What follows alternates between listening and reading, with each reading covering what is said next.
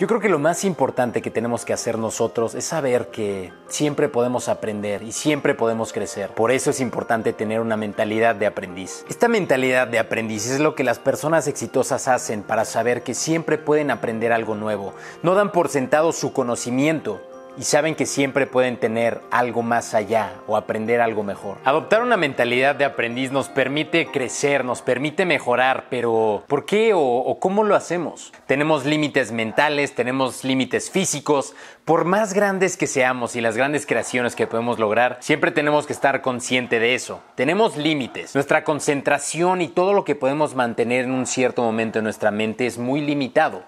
De igual manera, todas las creencias y la construcción que tenemos de nosotros es eso, solamente es una construcción de las experiencias, opiniones, valores que nosotros tenemos dentro de nuestra vida. Esto es lo que vamos haciendo a lo largo de nuestras vidas, creando experiencias y creando nuevas opiniones y cosas que vemos.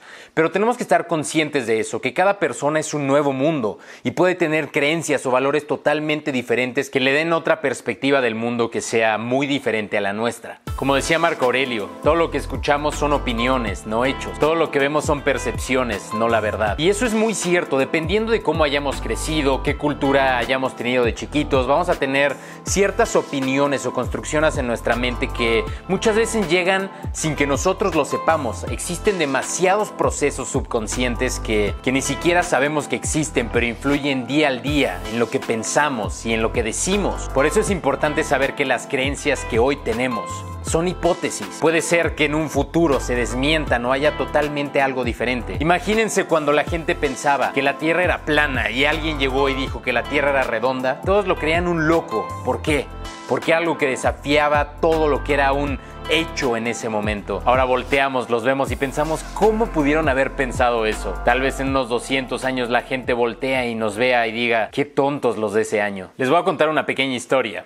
Existía un gran empresario de Harvard que aparte de estudiar todo lo que necesitaba para su negocio, era un gran adepto de la meditación zen. Un día le cuentan que hay un gran maestro que está a punto de venir. Se le emocionado y dice, oye, pues yo soy súper aprendiz, soy muy fan de esta disciplina, quiero ir a conocer a este maestro y poder platicar con él. Después de mucho trabajo y esfuerzo, consigue la cita y decide ir a ver al maestro Zen. Al llegar ese día a su cabaña, el maestro lo recibe muy amablemente, humildemente. Qué bueno que estás aquí, siéntate, vamos a tomar el té. Y el otro rápidamente le dice, ¿cómo, cómo? Yo no quiero tomar el té, quiero platicar de todo el estado Zen, de la meditación. Quiero saberle en este momento, llevo muchísimo tiempo platicando de esto, aquello y esta cosa que sé que me va a ayudar para la vida, pero quiero saber qué piensas. No paraba de hablar. El maestro Zen simplemente agarraba una jarra y llenaba lentamente el agua del empresario.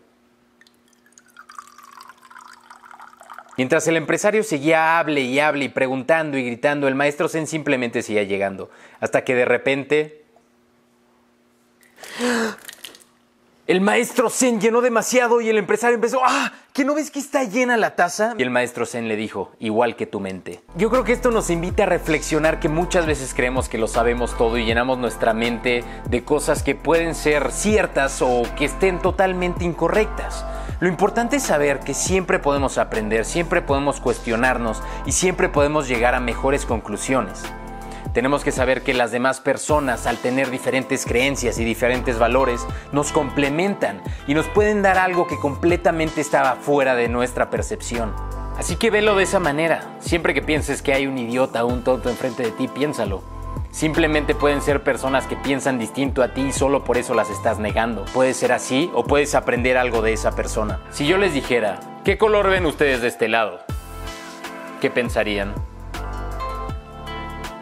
Y después le preguntara, ¿qué color creen que veo yo de este lado? Bueno, y si yo les dijera que yo veo un lado completamente rojo de este lado, ¿qué me dirían?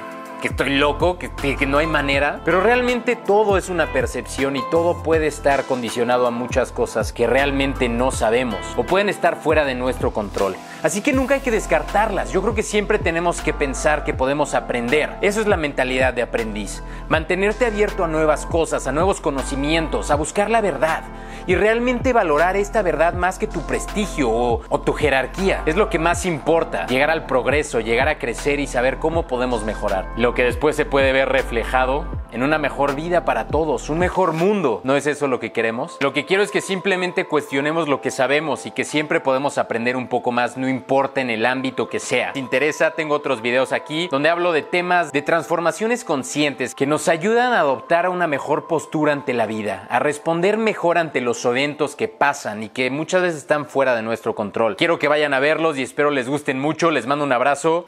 ¡Boom!